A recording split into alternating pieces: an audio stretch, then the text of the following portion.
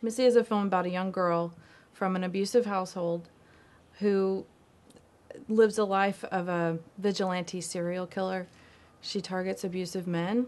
And I think what I'm most excited about is the tension between her um, finding her power emotionally um, by victimizing other men, but thinking that she is sort of a hero or a um, like doing the world a favor by getting rid of these men. I'm Alison Mauldin. I am the writer, producer, and actor in a film called Missy.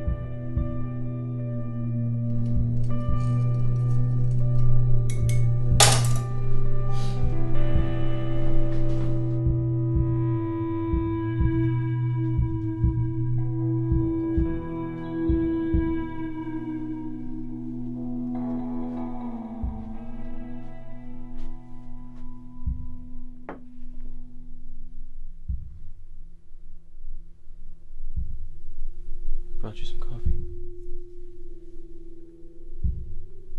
Need anything else before I go?